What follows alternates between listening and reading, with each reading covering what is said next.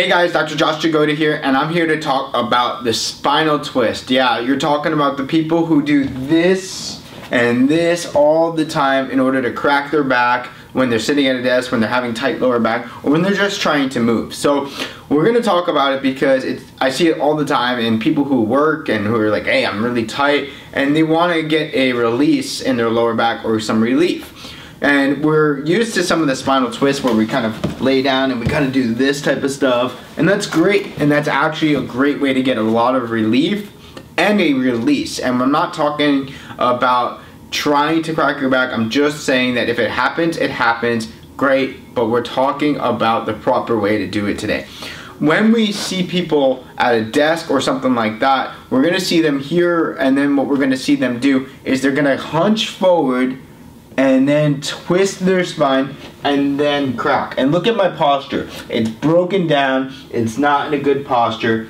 And what we're doing is we're really compressing the forces through our disc down and then rotating, which can have some negative implications in the future.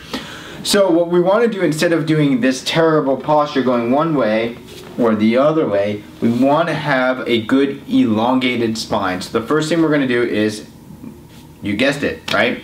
Not have terrible posture. So sit up nice and tall, tuck your rib cage down, not up like this. Tuck it down, engage your core a little bit, and elongate the spine. So figure or pretend like somebody's pulling you up by the hair, just like that, right? And now you have a nice elongated spine.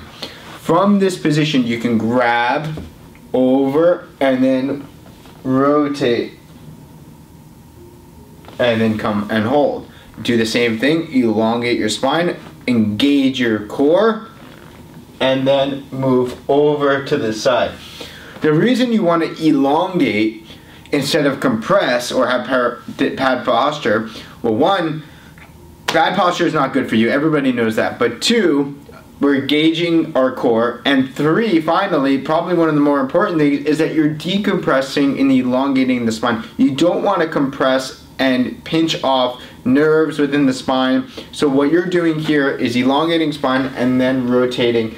You're probably going to find that with this elongation you may not be able to rotate as far but you're going to be at least doing it correctly and really benefiting from this rotation so again make sure you stand up tall elongate the spine before you do your rotation or your spinal twist even if you're doing it on the seated posture or the yoga kind of thing where you're kind of up here. A lot of people will do this, try to stay nice and tall, and then look around, all right?